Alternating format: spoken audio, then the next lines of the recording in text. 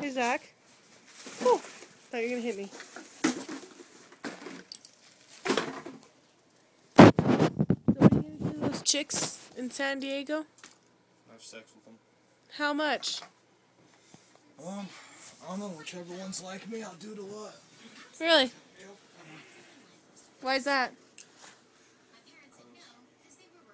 Who you texted? I didn't text nobody. My phone was dead. Maybe you should call Blaze. Yeah, maybe. Okay, well I'm going to bed. Oh yeah. yeah. Night. He's watching some weird shit. What are you watching?